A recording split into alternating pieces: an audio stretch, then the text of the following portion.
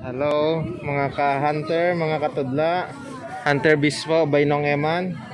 Dito po ako ngayon sa isang tulay namin, dito sa sa bayan ng Pototan, Iloilo. Ito po yung baha ngayon na dulot ng bagyong Kinta. Oh.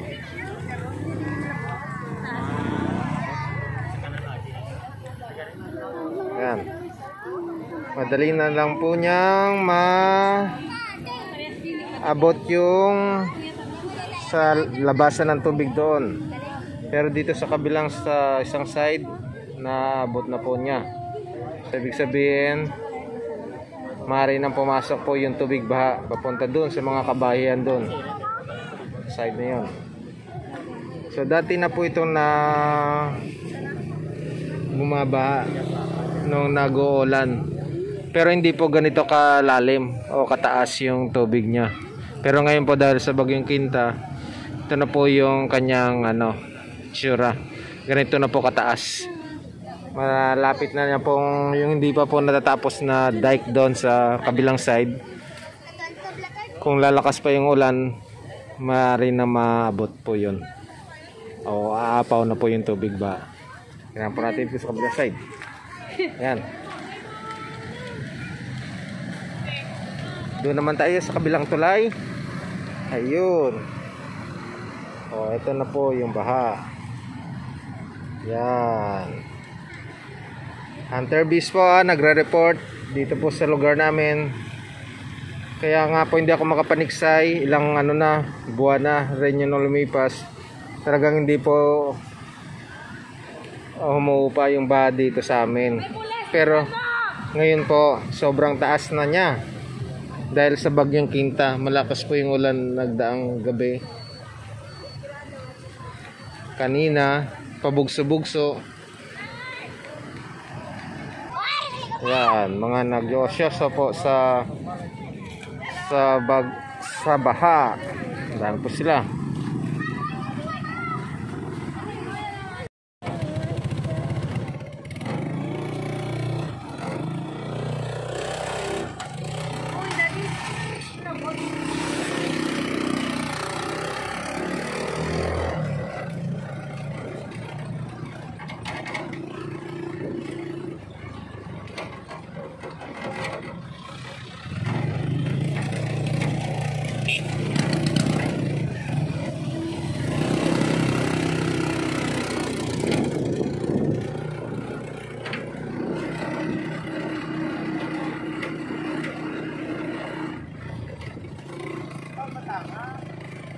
Bye lang.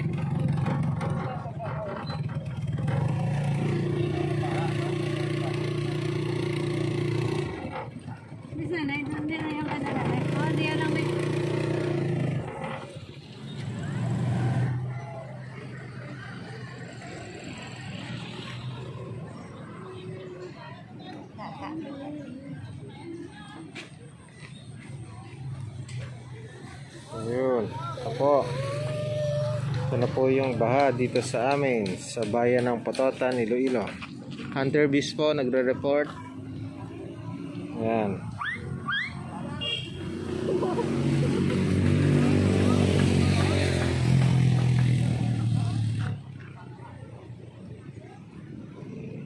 Yun. Muntik niya na, malapit niya na maabot yung hindi pa natatapos na river control dito sa amin. Kung lalakas pa po ang ulan mamaya malamang po maabot niya na yung sa kabilang pangpang. Yun. Yung labasan po doon ng tubig, kung makikita nyo doon sa mga tao, abot niya na. Maya maya ma lalapa, lalagpasan niya na lalagpas na doon sa isa nangangalahati na. Tubig. Yun. Doon sa kabilang tulay.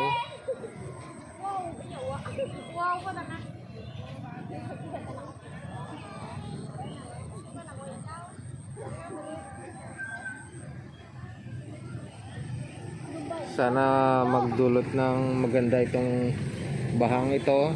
Dulot ng bagyong kinta sana may mga isda na mang mapadpad dito sa aming ilog para makapaniksay ng maganda o maayos. Dahil maganda na po itong aming ilog dito nilagyan na ng river control.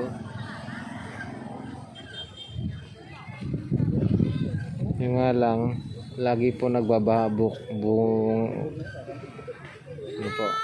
Buhat po nung nag-uulan kahit walang bagyo. Eh pumasok nga po yung bagyong Pepito. Sinundan itong bagyong Kinta yan kaya tumaas talaga yung baha dito sa ano Swagi River. Dito po sa may Pototan. Iloilo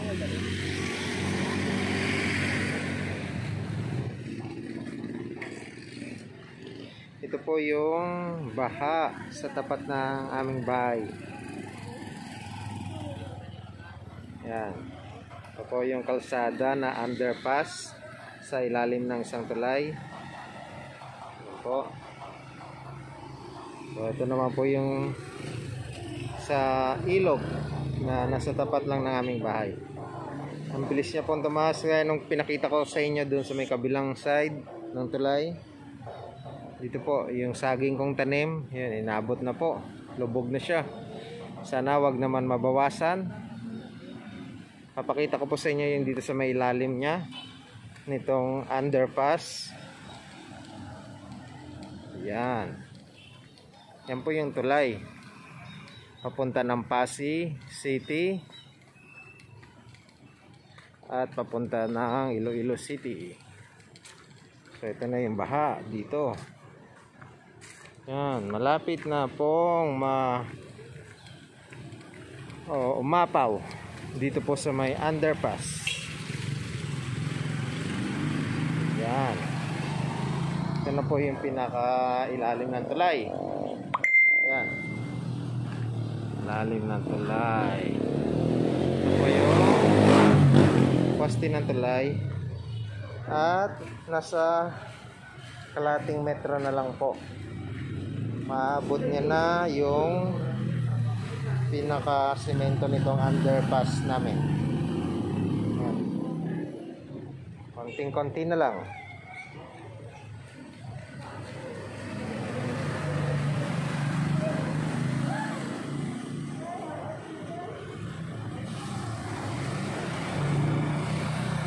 Po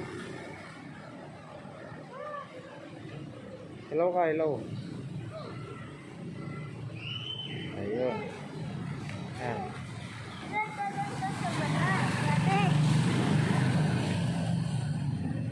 Yan po.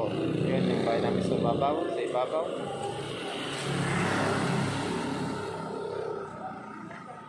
Yan.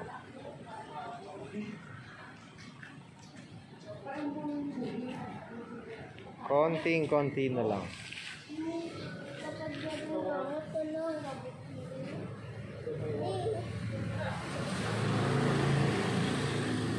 Oh.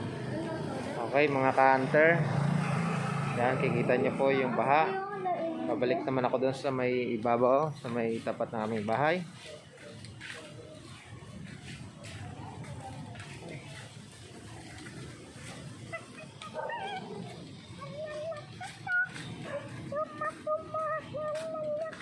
Kanina po, bago po ako ulit makapagsimula mag-video, pinatunog na po ng uh, uh, ano ba tawag nito ng local government yung sirena po ng bombero. Nag iikot na po kanina sa mga malalapit na kabayan sa tabing ilog.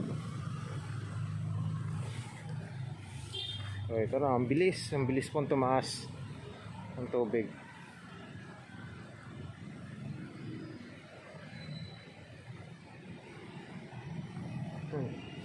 kanina hindi ko lang nakuha na ng video meron pong isang sawa na tinatangay po ng agos ng tubig so pinipilit niyang umakyat dito sa may puno mga punong ito Kaso hindi sa lakas ng agos, hindi, hindi, hindi kinaya ng katawan niya makakit.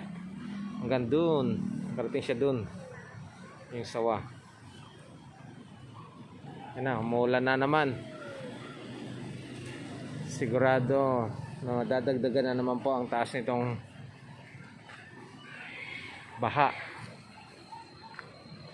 At yung dun sa kabilang side po na yon na barangay, wala pa po silang dike o river control. Malamang po maya maya nan, o sa ngayong oras na to meron ng tubig doon sa kanilang lugar. Yun.